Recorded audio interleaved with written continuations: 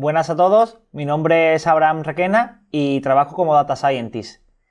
Y hoy estoy aquí para hablaros un poco eh, acerca de las certificaciones o de las posibilidades de certificación que tenemos eh, en, Scrum, en Scrum para certificarnos como Scrum Master. Entonces, bueno, os voy a hablar brevemente de tres de ellas, de la certificación de, de Scrum Manager, de la certificación de Scrum Alliance y de la certificación de, de Scrum ORG, ¿vale? Entonces, si vamos a la página web de, cada una de ellas, eh, esta es la página web de, Scrum Manager, de la primera que os he comentado. Bueno, eh, en esta página o con esta certificación es la que, la que yo tengo, la certificación de, Scrum Manager. Y aquí en, información de los cursos, pues podemos ver cómo podemos eh, conseguir la certificación, ¿vale? Ellos diferencian tres, certificaciones de, como Scrum Master, que sería eh, el nivel técnico, el nivel experto y el nivel autoridad. ¿Vale?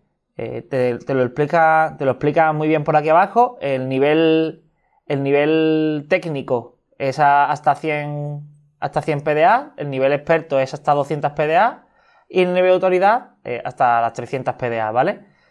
Entonces, bueno, la idea es que tú haces un examen tipo test y en función del número de, aciertos y demás, pues tendrás una serie de PDAs y que se llaman puntos de autoridad y conseguirías una certificación u otra. ¿Cómo podemos, cómo podemos eh, acceder al curso? Bueno, pues aquí, en autoformación, en exámenes tenemos la posibilidad de, realizar el examen de, certificación eh, o de acreditación de las, de las, 150 PDAs, que sería el nivel eh, expert. ¿De acuerdo? Entonces, bueno, haciendo clic por aquí, pues ya te pediría un usuario y una contraseña que, tendrías que registrar y demás y, y podrías verlo, ¿vale? Una vez, que, una vez que ya tienes la certificación, pues bueno, aquí en el área de miembros eh, pues podrías ver tu, certificación y el número de PDAs, que en este caso yo tengo 150 PDAs, lo que equivale a un nivel experto. Y aquí, pues bueno, ellos ya te dejan eh, valorar, eh, descargar tus diplomas, renovar, el, renovar las PDAs y, demás. Esta es una de ellas.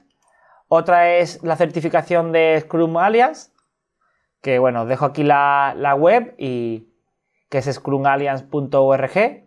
Y aquí en Get Certified, pues bueno, podemos ver que tienen eh, la certificación de, Scrum Master, la, Advanced. También te puedes certificar como Product Owner, eh, bueno, eh, como Product Owner Advanced.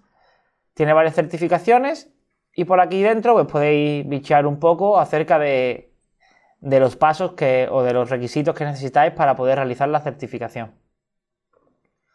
Y por último, también bastante interesante, la certificación de, Scrum ORG, ¿vale? Que por aquí, en la página, en su propia página de scrum.org, hay un apartado que es Get Certified. Y también te permite eh, certificarte en varios. Eh, en varias cosas, en varios puntos distintos. Bien como Scrum Master, bien como Product Owner, como Scrum Developer, como eh, Professional, etcétera. Tiene varios.